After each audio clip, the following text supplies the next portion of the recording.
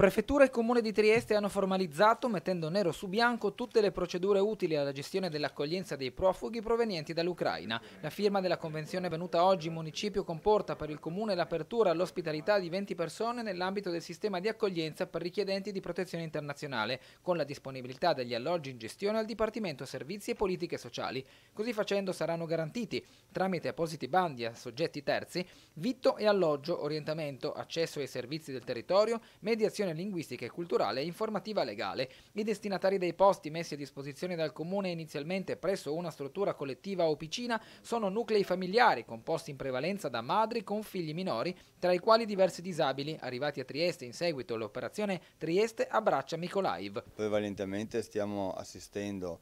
ad un grande numero di mamme con bambini con disabilità importanti. Il Bullo, eh, che chiaramente da un punto di vista geografico è molto vicino al confine, è sicuramente un elemento di attrazione e quindi noi siamo assolutamente lieti di poter dare una risposta non soltanto sanitaria, ma anche una risposta di una comunità che accoglie questi, queste famiglie, perché è vero che bisogna dare un supporto sanitario, però dopo la giornata è lunga e soprattutto eh, si svolge fuori. Quindi noi adesso stiamo, ci stiamo già adoperando per inserire questi bambini nelle scuole, stiamo cercando di inserire queste mamme nel territorio, certamente l'augurio è che questa guerra finisca il prima possibile perché è una tragedia che ci, ci ha davvero molto colpito e, e come tutte le tragedie, a tutte le tragedie va data una risposta laddove questa si può fare.